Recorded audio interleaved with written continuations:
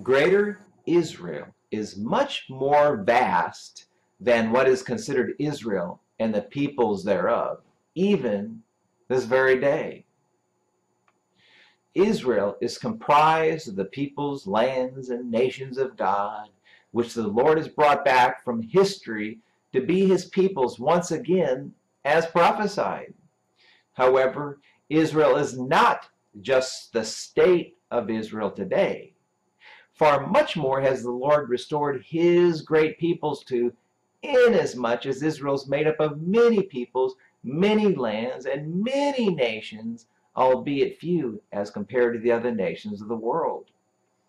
Greater Israel consists of the vast number of God's peoples across the earth who are even now in the lands given to them by the God of Israel forever.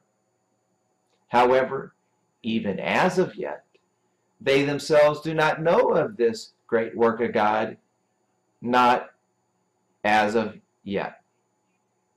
End of message.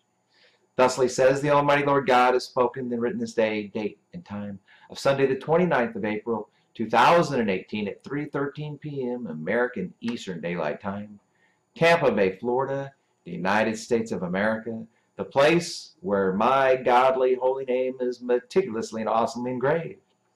Published for Saturday the 1st of September, 2018.